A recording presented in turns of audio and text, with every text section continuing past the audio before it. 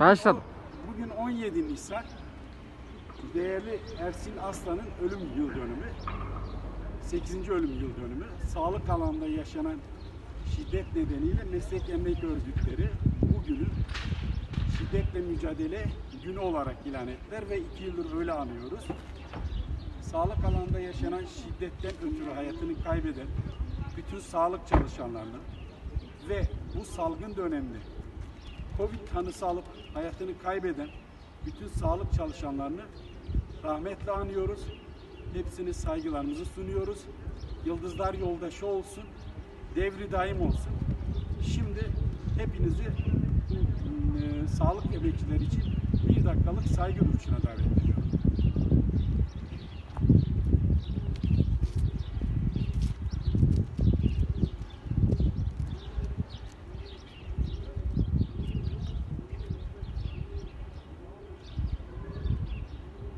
Korona e, pandemisiyle mücadele edildiği bu dönemde e, sahadaki ve bütün yoğun bakımlardaki çalışan tüm ama tüm sağlık e, personelinin eksiksiz malzeme temini konusunda hassasiyet gösterilmesini ve böyle bir günlerde bile sağlıkta şiddetin bir daha yaşanmaması için elimizden gelen her türlü mücadeleyi vereceğimizi burada tekrar beyan ediyorum.